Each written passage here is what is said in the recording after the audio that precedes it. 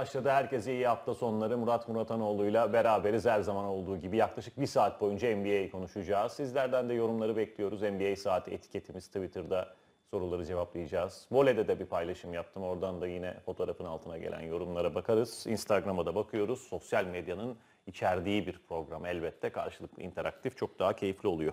Murat abi merhaba. Merhaba.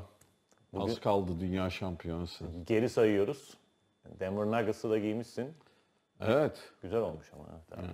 Seninki de fena değil. Teşekkür ederim. Ben de KG'yi bugün yanayım dedim. Eski günlerden. En iyi ikililer 4 numara falan konuşacağız ya böyle.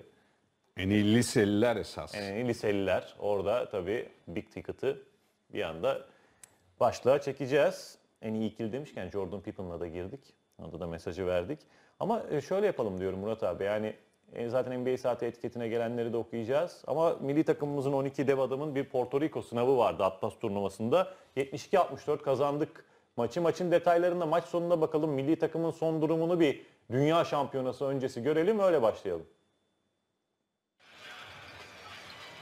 Ameli erkek basketbol takımı FIBA 2019 Dünya Kupası hazırlıklarını sürdürüyor. Ay Yıldızlılar Çin'in ev sahipliğinde 31 Ağustos 15 Eylül tarihleri arasında düzenlenecek organizasyonun hazırlıklarını Atlas turnuvası ile tamamlayacak. Türkiye turnuvanın ilk maçında Porto Rico ile karşılaştı. Ay Yıldızlılar rakibi karşısında ilk yarıyı 39-25 üstün kapattı. İkinci yarıda da oyunu bırakmayan 12 dev adam Porto Rico'yu 72-64 mağlup etti. Milli takımımızda Cedi Osman 12 sayıyla en skorer isim olurken Yiğit Arslan 10, Melih Mahmutoğlu 9 sayı kaydetti. Özellikle bir işte 15 dakikayı çıkarırsak 20-25 dakika iyi oynadık, tempolu oynadık. Bizim için iyi bir antrenman maçı oldu. Yine çok fazla oyuncuyla oynadık. Herkesten katkı almaya çalışıyoruz. Çünkü uzun bir turnuva oynayacağız. Kime, hangi gün, nerede ihtiyaç olacak belli değil. Herkese hazırlamaya çalışıyoruz. Rakip önemli değil. Bu sadece hani bizim ne yaptığımızı çok önemli. O yüzden bir gün hani iyi maç çıkaramadık ama bir top kaybının üzerinde bir şey yaptık. Ondan sonra önümüzdeki maç daha onu konsantre alıp daha az top kaybı, daha iyi bir e, maç ortaya koymak istiyoruz. Çünkü hani bu motivasyon motivasyonu yakaladık anda bence bu aynı şekilde e, turnuvada oynayacağız. Bu sonuçla birlikte yarı finale yükselen Türkiye yarın saat 10'da Venezuela ile karşılaşacak. Koç'un söylediklerinde yani çok fazla oyuncuyu yine deniyoruz çünkü turnuva uzun olacak. Kimle e, ne zaman ihtiyaç duyacağız bilemiyoruz ifadesi bence öne çıkıyor Murat abi. Sen takımın durumunu haftaya çok detaylı konuşacağız bu arada onu söyleyeyim. Şampiyona özel bölüm yapacağız ama an itibariyle nasıl görüyorsun? Şimdi e, şu ana kadar o hazırlık maçları olduğunu da vurgulamak lazım ama e, birçok takım, koç farklı şeyler de deniyor. Ama şu ana kadar işte İtalya olsun, Porto Rico olsun yani 5 aşağı 5 yukarı aynı seviyede e, olduğumuz takımlara karşı e, Fransa e, galibiyetiyle başlamıştık. Sonuçlar iyi. Tabii Sırbistan, Amerika, Yunanistan şimdi bunlar en büyük favoriler olarak gösteriliyor. Onlara karşı ne yapacağımız çok önemli. Şimdi Ufuk Sarıcı'ya katılıyorum ama dört tane oyuncunun burada e, skor yükünü e, özellikle de o söylediğim maçlarda e, çekmesi çok önemli. Bunlar tabii Cedi Osman, Ersan İlyasova. Yani Ersan artık zaten abilik de yapıyor. e, Liderlik de liderlik de yapıyor. E, Furkan Korkmaz ve e, Wolbeck'ın e, fena görünmüyoruz şu anda. Ama yani o Yunanistan ve Sırbistan maçları her ne kadar hazırlık maçı olsa da eğer bir madalya şansımız olacaksa ya da en azından bir çeyrek final şansımız olacaksa o maçları da e, hatasız, tempolu, topu paylaşarak iyi oynamamız lazım. Peki e, ya rotasyon konusunu nasıl değerlendiriyorsun? Yani bazen koçlar daha az oyuncuyla oynar. Bazen çok geniş rotasyon kullanabilirler. Tabii bu, bu turnuva olduğu için iş değişebilir. Nasıl bir bakmak lazım? Ya şimdi konuya? bu biraz hedefe bağlı, bir de eldeki kadroya bağlı. Tabii. Yani hedefin gruplardan çıkıp ne bileyim işte ilk 8 falan yapmaksa daha kısa bir rotasyonu kullanabilirsin. Ama şunu da unutmamak lazım. Bu tür şampiyonalarda maç sayısı arttıkça eğer rotasyonun da kısaysa başka faktörler işin içine giriyor. Yorgunluk, ufak tefek sakatlıklar, şunlar bunlar. Yani ben her zaman e, geniş bir rotasyona hazır tutarak böyle şampiyonalara başlamanın çok önemli olduğunu düşünüyorum. Yıpranmadan ilerledikçe, e, maç önemi de arttıkça veya rakibin de gücü arttıkça daha kısa rotasyonlara her zaman dönebilirsin ama e, kısa bir rotasyonla başlayıp genişletmek çok zor. Doğru. Peki e, yorumlarınızı, görüşlerinizi bekliyoruz. Kendi akışımıza geçeceğiz ama biraz yorumlarla devam edeyim. Mahmut Bey demiş ki NBA ile 2 yıldır alakam var. Programlarınızı izliyorum. Teşekkürler. Hangi otobiyografiyi önerirsiniz bana demiş. Valla Türkçe'ye çevrilenlerden ben Shaquille O'Neal- O'Neal'ınkini önereyim. Eğlenceli bir giriş içinde keyifli olabilir. E, renk katar. Ya benim için başlangıç noktası olarak ilk bu tür kitap John Wooden'ı okumak lazım. Çünkü John Wooden NBA olmadı ama NBA'ye giden o kadar çok oyuncuya büyük emeği var ki Tedrisat. bir de e, hala bugün takım olma konusunda, e, başarılı olma konusunda yıllar önce, 100 yaşında vefat etti biliyorsun. Yıllar önce onun ön plana çıkardığı şeylerin hala ne kadar geçerli olduğunu ve ne kadar önemli olduğunu görüyoruz. Ya bir John Wooden'la başlayın. E, ondan sonra e, Julius Erving, Shaquille O'Neal, Kobe Bryant, Phil Jackson o kadar çok var ki. Ee, şöyle bir şey var tabii. John Wood'un Türkçe'ye çevrilmiş versiyonu var mı bilemiyorum. Olmayabilir. Ha, bilmiyorum. Ben o- Olmayabilir o. İngilizceyi Ee, yani şimdi mesela Dr. J de benim en iyi ok- okuduğum otobiyografilerden biri ama maalesef çevrilmedi. Hatta burada hazır yeri gelmişken bunu da söyleyelim. Çok fazla sporcu otobiyografisi, biyografisi var. Spor adamı biyografisi var. Bunların daha fazla Türkçe'ye çevrilmesi lazım. İzleyen kitap evi, yayın evi sahipleri, yöneticileri varsa, çevirmen arkadaşlarımız varsa lütfen bu sayıyı artıralım. Çünkü gerçekten büyük bir ilgi var Murat abi. Ee, senin de kitabın, biyografik kitabın yakında geliyor. Onu da heyecanla bekliyorum. E, bu sayı artsın. E, çünkü çok ilgi var. Hakikaten o ilginin karşılığı ol- olduğunda herkes görecek. Buradaki olduğu örnekte gibi. Bir de yani geçmişi de bilmek lazım. Yani bugünlere mesela NBA ise NBA nasıl geldi? NCAA ise NCAA nasıl geldi? Aynı şey Euroleague için de geçerli. Ee, ne yazık ki Avrupa'da bu tür kitaplar Amerika'daki kadar basılmıyor. Ee, satmaz diye herhalde diye düşünüyorum. Ee, Amerika'da her sporda yani benim mesela gelmiş geçmiş en iyi okuduklarımdan bir tanesi. Gerçi Chicago'da bulunduğum dönem kariyerin en iyi yıllarını orada geçirmişti. Beyzbol süper yıldızı Dick Allen'ın kitabı e, hep siyahilerle eşitlik konusunda ilk siyahi oyuncu Jackie Robinson e, ön plana çıkar. Eminim e, sporu takip eden izleyicilerimiz o ismi duymuştur. Filmi de var. Ama Dick Allen süper yıldızlara, siyahi süper yıldızlara nasıl davranılmalı konusunda çok eleştirildi ama e, hep ilk adımı attı.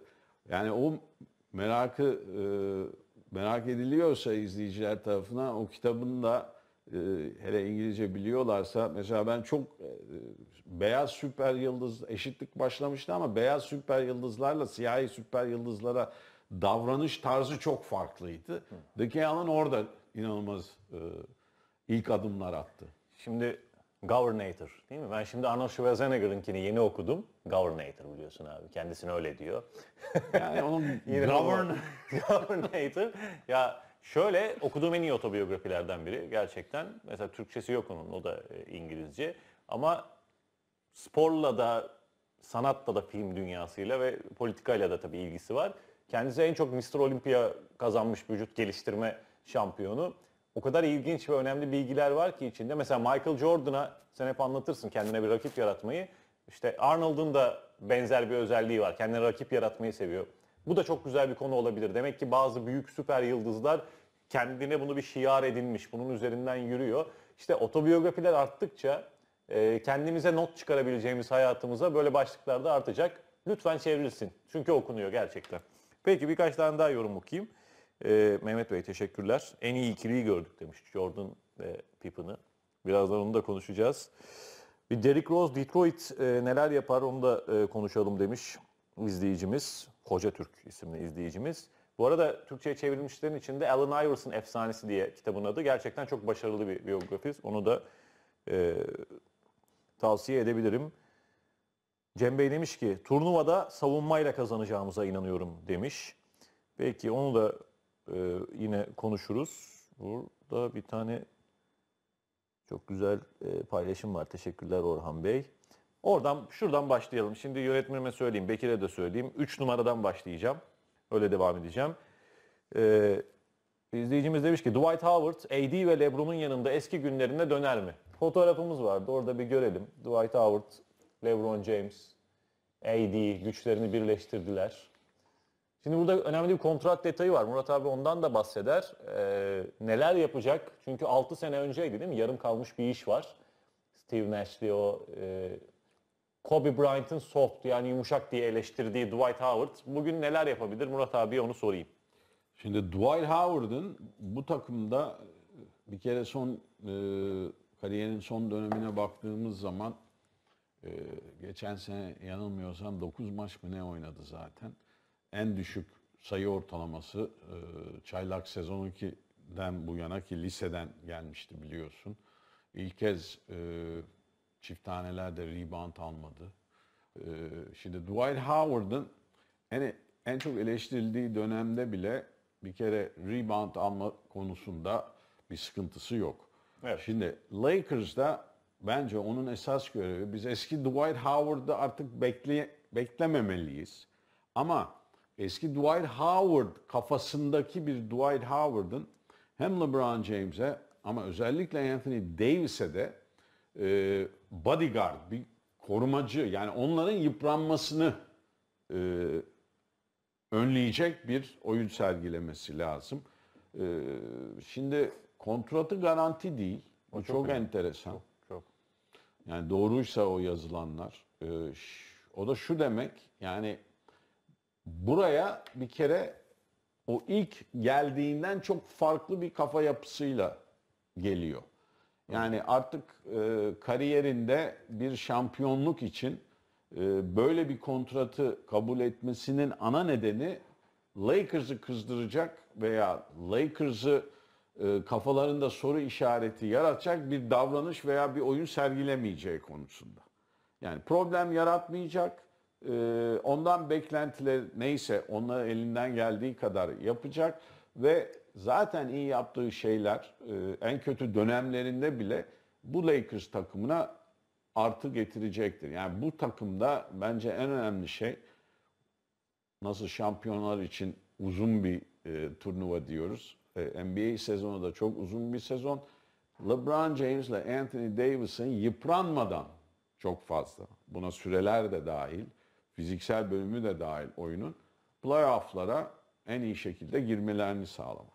Tabii orada Kazıs'ın sakatlığı da çok önemli oldu bu hamlede. Ama e, ben hani beklenenden çok daha iyi bir Dwight Howard göreceğimiz kanısındayım. En azından okuduklarım ve onun Evet, yani kafa, kafa yapısı olarak kesinlikle öyle gözüküyor. Yani e, ama yani o ilk gittiğinde de hatırlarsak beklentiler tavan yapmıştı.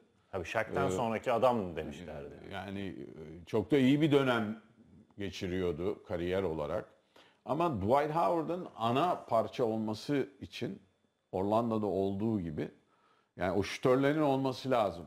Yani Hidayet Türkoğlu'nun, Rashad Lewis'ın bu tür oyuncuların orada olması lazım. Oyun tabii ki e, çok fazla süre geçmemiş olsa da belki 5-6 sene, 6-7 sezon e, oyun değişti. Ve NBA'deki basketbolun o değişimleri e, klasik e, tarzda pivotların süper yıldız olmasını da engelleyen bir e, katkı yapabilirler. Ama Tabii. burası çok önemli. Ben e, öyle olacağına e, inanıyorum okuduklarımdan senin gibi. Neredeyse işte küçümsenerek hatta aşağılanarak gittiği bir Los Angeles Lakers takımı vardı. Tabii bir de Kobe.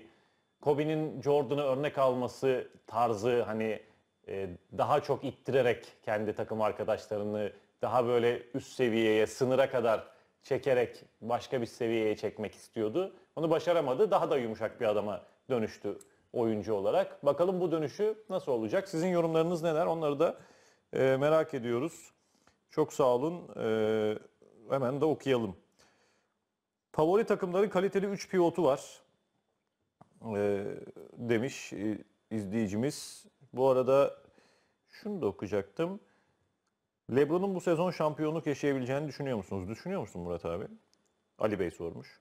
Yani şimdi bizim beklediğimiz bir Dwight Howard'la e, ya ondan önce olma şansına göre şansı çok arttı. Ama yani e, Clippers'ı unutmamak lazım. Evet yani bu sene Golden State'in bulunduğu e, noktadan dolayı e, sanki e, belki de kariyerinin geri kalan bölümünde en iyi şansı bu sezon yakalayabilir. Eğer Dwight Howard beklediğimiz kafada ve katkı yapma durumunda gelirse. Kesin ben de aynı fikirdeyim. Çok teşekkürler yine güzel yorumlar için Efe Bey. Mustafa Bey demiş ki Lebron'la AD e, damga vurur. MVP'yi kim alır? Daha çok erken. Erken değil mi? Barış Öztürk çok teşekkürler. Bana göre demiş bu arada izleyicimiz Utah Jazz'ı kimse konuşmuyor ama bu sene playoff Yo. yapacaklar. Bakın, Güzel bir kadro yaptılar. Denver'la, uzun Denver'la Utah birkaç hafta Evet, önce konuştuk. konuşmuştuk burada. Ee, tam ne kadar oldu bilmiyorum ama kesinlikle hafife alınmaması e, gereken iki takım. Ee, belki çok böyle ses getiren transferler yapmadılar. Gerçi Mike Conley Jr.'ın transferi bence Utah için çok önemli. Ee, ikisi de yani ilk ikiyi batıda zorlayabilecek takımların başında geliyor bence. Aynı fikirdeyim ben de. Peki e, Burak Bey de demiş ki Denver Nuggets taraftarıymış kendisi. ve Tişörtünü çok beğenmiş haliyle abi. E, acaba Jokic Murray ikilisine iyi de bir şutör eklenirse tek eksiğimiz tamamlanır mı? J.J. Redick gibi bir isim mesela demiş. Kimse Denver Nuggets'tan bahsetmiyor diye bir tane daha yorum gördüm. Bu arada Denver taraftarı izliyor. Ya bugün esasında e, sizi beklerken e, şörtlü gören bir genç arkadaş da aynı şeyi söyledi. Abi dedi favorin mi bu sene dedi. Yok dedim. Yani her programa farklı tişörtler giyiyoruz ama favorim olmasa bile sürpriz yapacak Tabii. favorilerim arasında kesinlikle e, yer alıyor. E, geçen senenin bir şans mı denir, rastlantı mı denir? Olmadığını da ispat etmek için bence oynayacaklar. O da bir artı getirecektir diye düşünüyorum. Peki Harun Bey teşekkürler. Demarcus'un katılımı nasıl olacak acaba demiş Cemal Bey. O da önemli. Katılabilecek mi tabii öyle de sormak lazım. Şimdi DeMarcus Cousins mı? Kadro olarak bakıyoruz. Tamam. Yoksa bizim tahmin ettiğimiz veya beklediğimiz kafada bir Dwight Howard mı o ikiliye daha iyi uyum sağlar? Howard. Değil mi? Yani o hammallığı yapacak, bütün reboundları toplayacak. Ee, çünkü DeMarcus Cousins da biraz e, Anthony Davis'in şeyine giriyor. Arka bahçesine yapmak istediklerin açısından. Tabii. O açıdan yani e, kontratından dolayı belki fazla mı böyle düşünüyoruz onu da bilmiyorum ama yani sanki Dwight Howard bu sene işi ciddi tutacak. O son yıllarda biraz eğlenmek e, yani biraz böyle şaka kaydı şey olarak e, kafa yapısı olarak o şakın ikinci dönemine. Onu hep istedi bence bu arada. O oradaki yani o meşaleyi hem en iyi pivot olarak hem de Shaq'teki gibi entertainment'ın, eğlencenin bir numaralısı olarak almayı hep istedi ama tam yapamadı asla. Yok yapamadı çünkü yapamaz yani ş- şakı e, izliyorsak e, yani şak Başka bir dünya. Çok değişik bir e, arkadaş. Tabii tabii. Yani aynı başka bir arkadaş yani. Ya bu arada şöyle betimleyeyim. Hani senin anlattığını resmetmek gerekirse X-Men'de Juggernaut diye bir karakter vardır. Onu düşünün. Yani o önden koşacak. Arkadan da işte Wolverine'de Cyclops topları taşıyarak şampiyonluğa doğru gidecek yolu açarken diye herhalde betimleyebiliriz. yani hammallık belki güzel bir tarif değil ama yani e, senin tarifin çok güzel. Yani e, yük taşıyan ama işte o zaman da hammal oluyor ya da Şöyle yani o göğüs artık- gelen mi diyelim öbürleri yıpranmasın Evet, diye. ön taraftaki bütün o saldırıyı böyle koşarak ittirerek o gücüyle, kuvvetiyle onları rahatlatarak hani çevreden alevler çıkarken daha sakin bir ortamdan yürüme imkanı tanıyacak. Ha, bir de şöyle olabilir. E, Kobe'ye bir yanıt verebilir. Yani e, Bence istiyor sonuçta onun takımına gidiyor. Yani onun eski takımına gidiyor. Hala ilah gibi olduğu takıma gidiyor. Aynen öyle. Peki e, takımları yine tek tek konuşacağız. Valla e, Zayn konusunu birazdan konuşacağız. Bir çaylak başlığımız var. Peki bir yorumları birazdan okuyayım. Burada MVP demişken şu ilk maddeye yani ikinci maddesine akışımızın gidelim. James Harden'ın bir Antetokounmpo açıklaması oldu yeni. Önceki gün oldu yani dün diyelim. Ee, biraz bozulmuş durumda. MVP'yi Yannis Antetokounmpo'nun almasından dolayı. Medya ilk günden itibaren bir hikaye oluşturdu. Herkes bu hikayeye göre hareket etti. Yapabildiğim tek şey yapabildiğim olguları kontrol etmek. Sezon boyunca maçlara çıkıp en yüksek seviyede performans sergiledim ama karar bu oldu diyor James Harden. Yani biraz bozulmuş e, bir Antetokounmpo hikayesi oluşturdunuz. Ve bu hikayede inandınız. Ve sonuçta da bu ortaya çıktı e, diyor.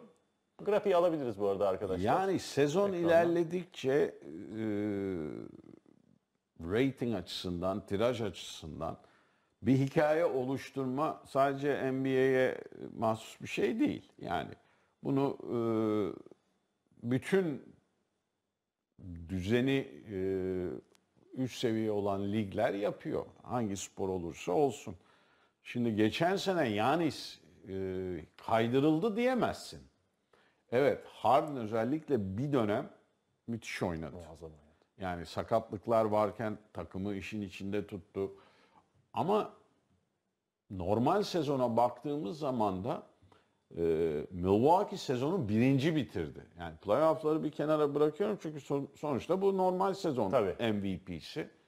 Söylediklerinde doğruluk payı var ama yani hikaye oluşturuluyor. Hikaye nasıl oluşturuyor? Biz bunu birkaç hafta önce konuşmuştuk. Steve Nash arda arda iki tane MVP kazandı. İkisinde de eleştiri vardı. Neydi eleştiri? İşte birinde Kobe, birinde de Shaq'ın hakkı yenildi falan filan. Üçüncü yani three-peat yapacak durumdayken en iyi sezonunu geçirdi. Yani hakikaten eğer üçünden bir tanesini en çok hak ediyor diye sorsalar o sezondu. Onu alamadı. Ama onu alamadı. Şimdi orada bir hikaye vardı. Oradaki hikaye de neydi? İşte üç kere arka arkaya MVP olan zaten sadece üç tane efsane var. Yani o seviyede değil mesajı verildi. Ama ikinci bitirerek de o seviyeye yakın. Şimdi bu bir hikaye oluşumu. Doğru. Ama yani hiç alakasız biri bir hikaye oluşturuldu diye veya çok fazla fark, fark atarak hak eden birinin e, seçilmemesi gibi bir şey bir hikaye yaratıldığına ben yaratılacağına da katılmıyorum açıkçası. Biraz daha Yannis'i tebrik eden bir açıklama bekleyebilirdim ben Bay Sakal'dan. Bu hani rahatsız olduğunu belli eden sözler bunlar. Ya şimdi e, orada da yani sadece Harden olarak bakmamak lazım. Yani Houston yönetiminde de organizasyonunda da biraz bir şey sezmeye başladı insan. E, kaçıncı yıl oldu şimdi birlikte artık bir e, şampiyonluk Tabii. veya en azından bir NBA finali gelmedikçe işte bu tür açıklamaların da bence şeyi artıyor. Gerginlikler yükseliyor. Ee, peki birkaç yorum okuyalım. Ee, Greg Popovich hocayı izleyeceğiz demiş e, Metin Bey ama bu sezon beklentiler nedir takımdan, Spurs'ten? Onu da konuşmak lazım. Var mı çok beklentiniz? Valla ben Spurs'u hiçbir zaman hafife almam. Ee, şimdi haftaya daha detaylı konuşacağız ama dünkü Avustralya mağlubiyetinden sonra e, hemen Amerika e, bir anda e, herkes yani herkes olmasa bile kalbur üstü takımların yenilebileceği yenebileceği bir takım olarak e, gösterilmeye başladı. 8 numarayı hazırlayabiliriz bu arada. Ee, şimdi Greg Popovich'in e, kariyeri, vizyonu ve nasıl bir takım yaratmak mecburiyeti olduğu hiçbir zaman tartışılmaz. Ondan San Antonio Spurs'te e, bu arada DeMar DeRozan'ın takası falan geçenlerde gündemdeydi. Yakaladın mı bilmiyorum ama e, o mutlaka e, ses getirecek ama tabii yine sonuçta oyuncular oynuyor. E, elindekini şartlara göre en verimli şekilde kullanabilecek takımı yaratır. San Antonio playoff yapıp bir tur veya iki tur geçerse de çok da şaşırmamak lazım. Tabii şöyle bir durum var ama e, yani Greg Popovich koçun en büyük özelliklerinden biri oyuna olan odağı ve tüm oyuncularını istediği sisteme odaklaması. Ama bu kez biraz geç odaklanacak şampiyonadan dolayı. E, o nasıl etkileyecek oradaki oyuncularla o- iletişimi o onu merak ediyorum. Kesinlikle e, güzel bir noktaya değindin. E, Team USA'de de esas zorluk orada. Şimdi 3 ay çünkü e, Greg Popovich seni tanıyor ve senin onun için önemli bir şahıs olduğunu, bir karakter olduğunu, bir kişi olduğunu ikna ediyor ve sen, sen onunla her konuda aynı sayfada oluyorsun. Yani onun en büyük özelliği bu. E şimdi 3 hafta, 4 haftada hiç tanımadığı bir, bir oyuncu hariç hiç tanımadığı bu tür oyuncuları bir araya getirip o atmosferi yaratmak çok kolay değil. Ama bana sorarsan Avustralya mağlubiyetinin çok güzel de eline bir kozu var. Bir gün önce 102 sayı atıp 16 sayıyla yendikleri takıma bir gün sonra yenilebiliyor. Bu da şunu gösteriyor. Ya bu takım her maçı playoff maçı gibi oynarsa başarılı olur. Bu takım biz NBA oyuncusuyuz ya da biz nasıl olsa yeneriz diye çıktığı her maçta da rakibe bir davetiye çıkarıyor. Ki o rakipte de NBA oyuncuları var yani. Var atlamak artık. Her herkes takımda. herkes e, bizde kaç tane var? Aynen öyle. Yani Şimdi e, tabii orada alınacak olası bir başarısızlık ama Greg Popovich'e ne kadar büyük baskı olarak döner onu da bir soru işareti olarak masaya bırakmak lazım diye düşünüyorum. Valla e, Greg Popovich'in daha önceki asistan koçtu. Evet. Bir tane Larry Brown'un o e, kabus Indianapolis e, takımına e, e, pardon George Karl'ın bir de Larry Brown'un e, Atina takımına ikisi NBA oyuncuları oynamaya başladığından bu yana en büyük hayal kırıklığı veya işte NBA basketbol severleri en üzen iki takımdı. Evet. Ondan ne olmaması gerektiğini bizzat kendi gördü. Yaşadı. Direksiyonun arkasında değildi. Ee, bir kere çok iyi hazırlanacağını e, ben yani çok net bir şekilde söyleyebilirim. Yani Şişevski'nin ilk mağlubiyetini hatırlıyorsan, Hatırlıyorum. tek mağlubiyeti hatta Yunanistan, Yunanistan maçı. maçı.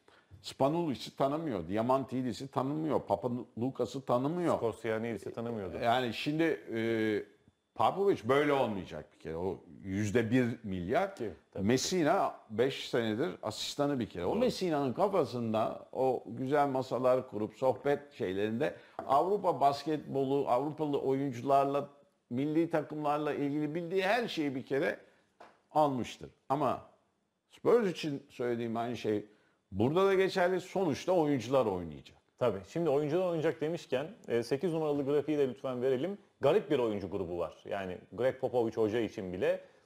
Jason Tatum da diyor ki kendileri hakkında bizi sokaktan toplamışlar gibi bir hava yaratıldı. Yaptığımız işte bir hayli iyiyiz. Bu eleştirileri omzumuzda taşıyoruz. Biz bu eleştirileri motive aracı olarak kullanıyoruz diyor Jay Tatum. Team USA Birleşik Amerika kadrosu hakkında. Şimdi evet Amerikan medyasına baktığında Murat abi bu eleştiriler var. Dünya medyasında da var bu arada. Ee, şimdi haftaya dediğim gibi Dünya Şampiyonası özel programı yapacağız. Daha detaylı konuşacağız ama şu sokaktan gelmişiz gibi bakılan takım için ve o eleştirileri biz farkındayız yorumları için neler dersin? Şimdi bu nereden geliyor biliyor musun? İlk rüya takımlara gidersek e, zaten Barcelona efsane. ikinci rüya takımda bence O çok iyiydi. Ne ne zaman e, Avustralya'daki hatırlarsan şampiyonaya kadar hep şu imaj vardı. Ya NBA oyuncuları sokaktan değil ama plajdan yaz tatilini e, yarı kesip iki tane idman yapıp çıkıp dünyada herkesi yenebilir. Şimdi o bir kere Indianapolis'te başlayarak e, o son buldu. Çok ciddi bir organizasyon yapıyorlar. Jerry Colangelo'nun başında bulunduğu. O biraz sokaktan toplama şeyi bence ona da e, Yani oradan kaynaklanıyor. Evet sokaktan toplaman, toplanmadı ama şimdi Amerikalı bir basketbol sever olarak baktığın zaman da ya diyor e, yani bir tane All League seçilmiş oyuncu var. Tabii. Kemba Walker. Üç tane Lopez'de kaç yıl oldu All Star seçileli? Üç tane All Star seçilmiş oyuncu var.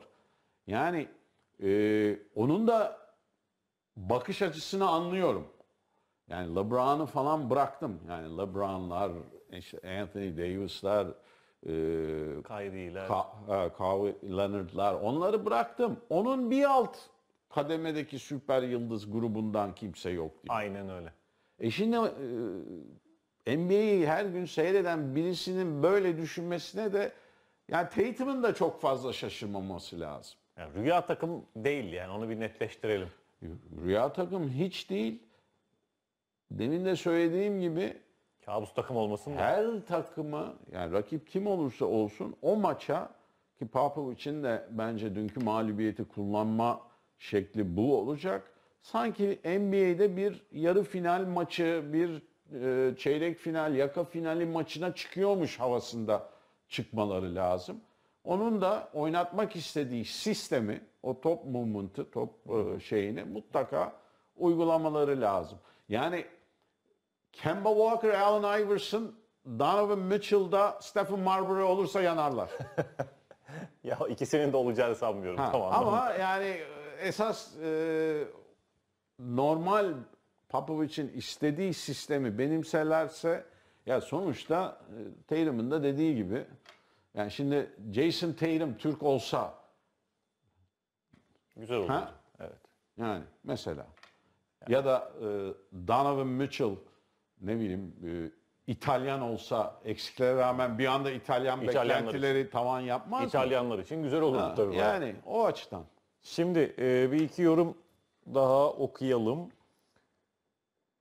Çok teşekkür ederiz güzel yorumlarınız için. Bakalım ne olacak. E, haftaya konuşacağız bu konuyu. Çok teşekkür ediyoruz. Yani çok fazla yorum var. Takımlar hakkında sorular var. Yani takımlar hakkında sezon yorumlarını biraz daha aslında sezon yaklaşırken konuşacağız.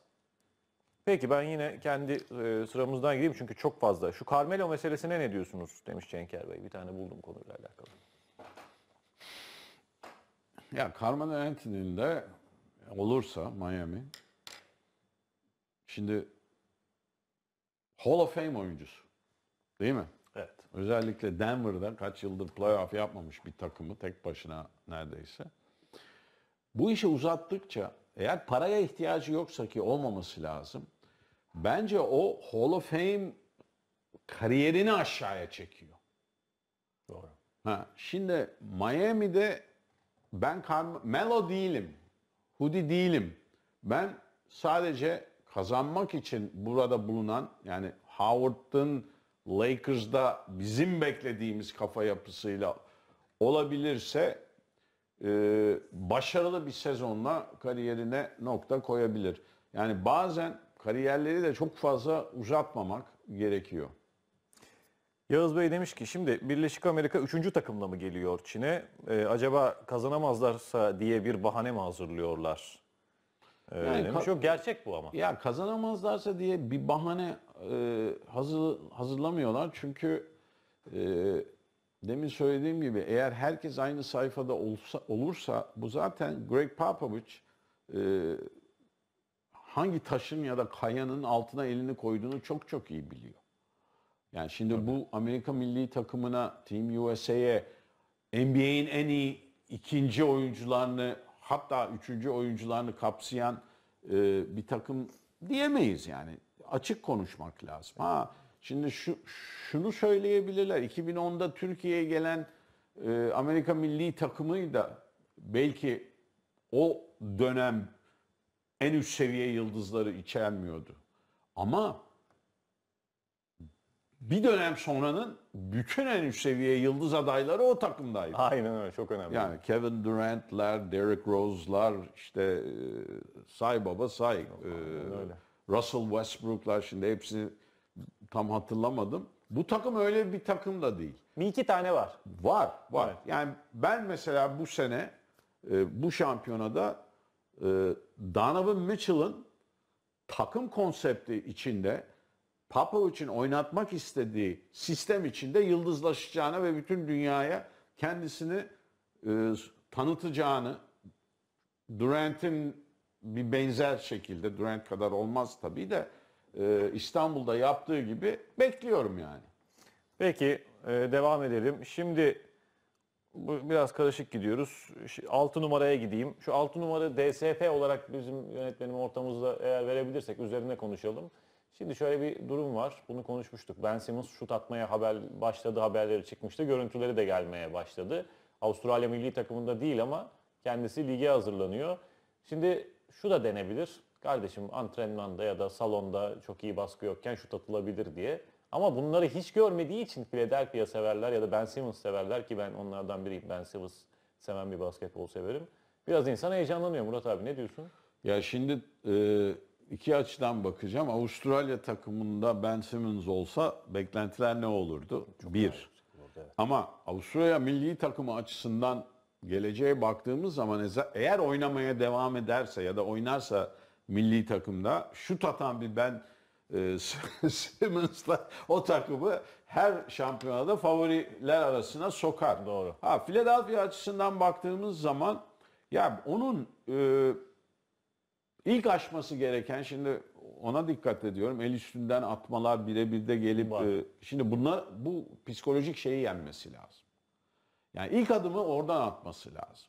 Çünkü iyi çalışan e, bir yetenekli bir NBA yıldızının şutunu geliştirmemesi hakikaten mümkün, Mümkün değil. değil. Yani bunun örnekleri Jason Kidd var, Irvin Magic Johnson var. Yani o açıdan bunlar hem Philadelphia için hem de oynamaya devam edecekse milli takımda Avustralya milli takımı yetkilileri açısından gelecek için çok umut verici görüntüler. Ki bence Avustralya milli takımı şu anda da çok iyi. Ee, çok isterlerdi bir Ben Simmons katılsın. Şampiyonluk adaylarının en büyüklerinden Şimdi olacaklar. isterlerdi ama bu oyuncuların bu tempoda zaaflarını gidermesi için NBA'de oynuyorlarsa Doğru. bir tek yazın var. Çünkü o yani 82 maç e, nereden vakti Tabii. bulacaksın? O kadar seyahat. Ee, devam edelim. Ee, Giray Bey demiş ki geçen sene de birkaç görüntüsünü görmüştüm. Ee, hiç kullanmadı ama ligde İşte o psikolojik şeyi aşması lazım. Güzel bir nokta. Peki çok teşekkürler. Ee, izleyicilerimizden çok güzel yorumlar geliyor hakikaten. Onları seslendireceğiz. Birkaç tane daha yorum okuyalım. Sırbistan benim favorim e, demiş. E son çıkan şeye göre e, uzmanların da e, favorisi Sırbistan oldu. Amerika ikinci sıraya düştü. E, Sırbistan tehlikeli bir takım. Orada benim tek endişem Djordjevic. Şimdi şöyle söyleyeyim. Haftaya böyle grup grup hangi grupta favori kim, sürpriz kim olabilir, en iyi oyuncu kim çıkar, MVP kim olabilir her grubu tek tek konuşacağız. Haftaya e, yoğun bir dünya şampiyonası programı olacak. O yüzden çok detaylı girmiyorum. O bilgiyi de size vereyim. Çok yorum geliyor. Hem Instagram'dan geliyor hem Vole'den e, geliyor. Hem de e, Twitter'dan geliyor. Onları da seslendiriyoruz. Peki yani Clippers'ta bir bütünlük yaşandı. Şu 5 numaradaki fotoğrafı verirsek Tyron Lue, Doug Rivers'ın ekibine katıldı asistan koç olarak. Şef asistan koç, bir numaralı asistan koç. Ee, bir de LeBron'a gönderme olduğu haberleri çok fazla e, yazıldı. Los Angeles medyasında biraz baktım. İşte siz beni işte değerimi bilmediniz bakın şimdi neler olacak şeklinde. Yani. ya şimdi Jason Kidd'in asistanı olmasından, ısrarından rahatsız olmasını ben anlıyorum. E tabi. Ama para bölümü şimdi e, parayı kontrol yani birçok oyuncunun da böyle demeçleri vardır. E, yani ben para için bu parada ısrar etmedim, saygı için. Yani parayı ölçme, e, saygıyı ölçme şeylerinden biri de kontrattaki miktar oluyor. E, ama Tyron Lue şimdi e, LeBron olmasa nerede olurdu sorularına e, yaşlanmış ya da işte kariyerinin artık sonbaharına gelmiş bir LeBron takımını ve kesin favori olmadığı bir e, konferansta batıda çalıştırıp bir şeyler yapabilseydi yani o yolu tercih etseydi bence doğruyu yapardı. Şimdi Dark Rivers zaten e, NBA'de belli bir seviyeyi e, kariyeri boyunca yakalamış bir koç. Ha o asistan olup nasıl bir konuşma veya şey geçti aralarında bilmiyorum.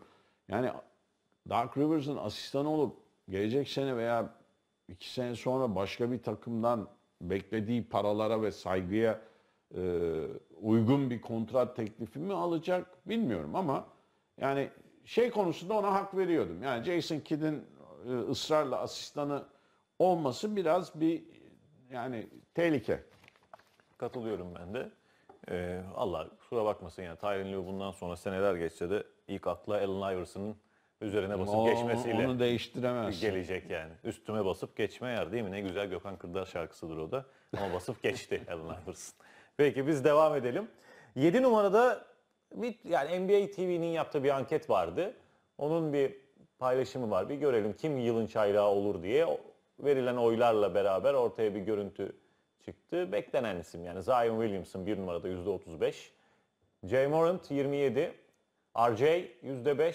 Cam Reddish de %5 aldı Murat abi. Ben de Zion tarafındayım. Hatta ben Zion'ın e, beklenen süper yıldız olacağı görüşündeyim. İnşallah da olur da izleriz yani. Şimdi zaten o ışığı verirse, iyi başlarsa nasıl geçen sezon biraz Doncic'in bir hikayesi vardı. Yani James Harden'ın söylediği e, hikaye e, yorumuna değinerek. Yani Zion Williams, e, Williamson bu hikayenin şeyi. Yani e, kahramanı. Aynen öyle. Ha ama bocalar yani ne durumda onu da bilmiyoruz. Yani çünkü mesela e, sezona hazırlanmak için e, Yaz ligi. Team USA'den de gerekli saygıyı görmediği için esas baştan ana kadroya çağrılmayıp e, şeye çağrıldığı için bir tepki gösterdi. Ama iyi başlarsa e, Doncic'in yaptığı gibi o hikayenin sonunda Rookie of the Year Zion var. Tabii.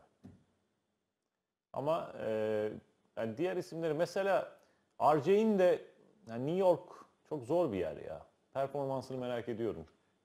Yani yanılıyor olabilirim ama ya ben Can'ın daha çok e, ön plana çıkacağını düşünüyorum açıkçası. Ben de kesinlikle seninle aynı fikirdeyim abi. Peki devam edelim. Ee, Phoenix'i hep konuşuyoruz. Ben Phoenix'i sevdiğim için ayrıca özel bölüm açtırıyorum her seferinde Murat abiye. Ee, ne yapar diye çok soru gelmiş. Valla bu arada yeri gelmişken Murat abi pas atayım. Hani sen de hep söylüyorsun ama NBA TV'de izledim galiba geçen gün. İlk defa Birleşik Amerika maçını izlerken konu e, şeye geldi. Ricky Rubio'ya geldi. İlk defa gerçek guardları var yıllar sonra. Bu da onları çok başarılı kılacak diye. Ne kadar katılıyorsun o görüşe bilmiyorum tabii. Ya şimdi Ricky Rubio'nun bir sıkıntısı Utah'ın sistemiydi. Yani Ricky Rubio artık e, kaç sene oldu NBA'ye gideli. Phoenix'te bence daha başarılı olacağı kesin. Biraz da abi e, şeyinde yani istenmek çok önemli bir şey. E, istenmediğini hissetmek de yani %90 oyuncuların bir kere performansını olumsuz etkiler. Aşağı çeker. Şimdi geçen sene Utah'ta sezon başında bile vardı ama bir dönem tam sezonun ikinci yarısında bir dönem yani şey konuşulmaya başlandı. Ricky Ru- Rubio'nun yerine şimdi o yerine kelimesi Salt Lake City gibi ufak yerlerde çok tehlikeli. Çünkü herkes konuşuyor. Herkes birbirini tanıyor. Yani orada mahalle baskısı Tabii. veya mahalle etkisi çok e, daha ön plana çıkıyor. Ben Phoenix'te başarılı olacağını düşünüyorum. Peki şimdi böyle her hafta özel bölümler yapıyoruz. Yine Murat abinin çok güzel başlıklarıyla bazı güzel anketler ve üzerine konuşacağımız konular hazırladık. 9 numaradan sıradan gidelim. NBA'deki en iyi takım hangisiydi? Oo. Yani zor bir soru böyle sorunca tabii. 71-72 Lakers, 82-83 76ers, 85-86 Celtics ve 95-96 Bulls yoksa 2016-2017 Warriors mı? Ne diyorsun Murat abi? Ya şimdi Eee, tabii ki bu Jerry West'in, Will Chamberlain'ın eee, Lakers takımı, Gail Goodrich falan 33 maçlık galibiyet serisi ve 12.4 sayı eee, fark atma maç başına ortalama müthiş rakamlar. Tabii. Ama ya ben biraz buradan hakikaten e, müthiş bir tarihçesi olan takımların en iyi takımlarını seçmeye çalıştım. Maalesef burada e, Magic Johnson'ın, Kareem Abdul-Jabbar'ın ve C- e, James Worthy'nin hatta Michael Cooper'ı da sayabiliriz.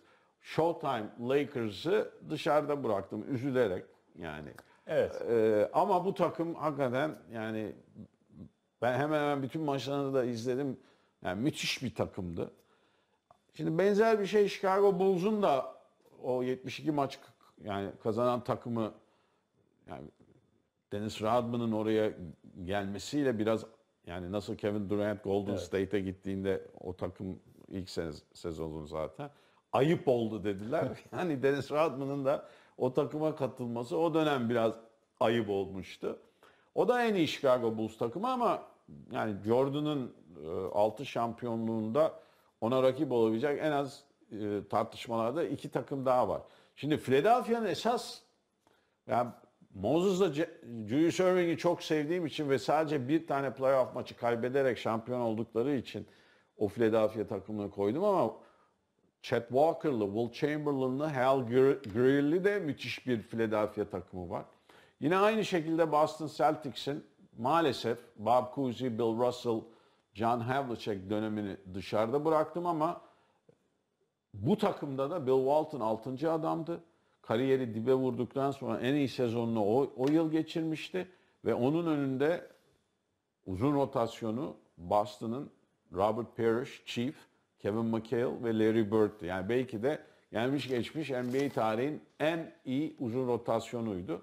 Ama ben tabii ki Michael Jordan, Scottie Pippen, Dennis Rodman, Tony Kukoc ve Ron Harper'lı Chicago Bulls diyorum. Çünkü o takımda birden fazla pozisyonu savunabilecek dört tane inanılmaz savunmacı vardı. Yani Jordan istediği zaman 1-2-3 hepsini savunuyordu. Dennis Rodman 1-2-3-4-5 hepsini savunuyordu. Scottie Pippen 5 savunamıyordu belki ama 1-2-3-4 savunuyordu. Ron, Par- Ron Harper da o takımın unutulmuş ismidir ama o da çok çok iyi bir savunmacıydı. Ben Chicago Bulls diyorum. Şimdi süremiz çok kısaldı Murat abi. 4 Eyvah. dakikamız falan var. Bundan sonrasını tempolu e, gitmemiz Tamam, kısa gerekecek. kısa yine. O yüzden 10 numaradan devam edelim. Sen kes beni fazla. Yok abi seni keser miyim? Seni dinlemek dünyanın en büyük keyiflerinden biri. 10 numaraya e, geçelim. 10 numaralı grafiğimiz. En iyi solak 5. Ah. Manu, Nate Archibald, Tiny. David Robinson, James Harden, Bill Russell, Chris Mullin. Chris Mullin konusunda şu soru işaretlerimi Yo koyarak- yo yo yo. Hayır mı? Kesinlikle katılmıyorum. Chris Mullin e, alkolle olan sıkıntısından dolayı kariyerin en önemli döneminde ön Tabii. plana çıktı ama onu da yendi. Chris Mullin NBA tarihinin en iyi şütörleri sayıldığında mutlaka ve mutlaka Ray Allen, Reggie Miller onların seviyesinde olması lazım. Sempatiklik sıkıntısı olduğu için öyle hissediyorum herhalde. Ben kendisinde. orada sana şöyle katılıyorum. Billy the Kangaroo Kid Cunningham mi Chris Mullin diye düşündüm. Cunningham'in son yıllarına yet- yetiştim. O da müthiş bir forvetti. Burada esas şanssızlık uzunlarda. Mesela Nate Archibald bence oyun kurucu olarak bir tek Lenny Wilkins onu zorlar. Ama Nate Archibald, Tiny hakikaten olağanüstü bir oyuncuydu. Müthiş de bir hayat hikayesi var. Ee, uzunlarda şimdi Amiral'le Russell değil mi? Tartışılmaz. Ama dışarıda kalanlara bak. Willis Reed, New York Knicks'in o efsane takımlarının pivotu. Dave Cowens, Boston Celtics'in o efsane takımlarının pivotu. Ondan sonra e, Tony Kukoc'a yer bulamadım. Bob Lanier, Tabii. Bob Lanier ve Artis Gilmore, A-Train. İkisi de Hall of Fame. Ama ikisi de bugünün basketbolunda çok hantal kalırlar ama ikisi de yani dağ gibi adamdı. Çok solak pivot var ama Russell'ı da e, kesebilir misin? Kesemez. Mümkün değil. Diğer başlıklarımızı bence başka programda konuşalım. Çünkü çok üzerine uzun konuşmamız gerekecek Murat abi. Ben birkaç yorum okuyayım öyle e, yavaş yavaş noktalayalım. Portland Türkiye hesabı yazmış. Bak tamamen objektif olmak gerekirse 76-77 Portland diye. Do- 95-96 Bulls. Muhteşem bir takımdı. Hakikaten muhteşem bir takımdı. Bill Walton'ın ben hep Murat abi süremiz bitmiş bu arada bir cümle. Son. şunu iddia ediyorum. Bill Walton sakat olmasaydı Sabonis için de aynı şey geçerli. NBA tarihinin en büyük pivotları tartışmalarında ikisi de yer alırdı. Peki ağzına sağlık Murat abi. Senin de ağzına sağlık. Teşekkürler. İzlediğiniz için sizlere de teşekkür ediyoruz. Haftaya yine var program. Dünya Şampiyonası özel yapacağız. Görüşmek üzere.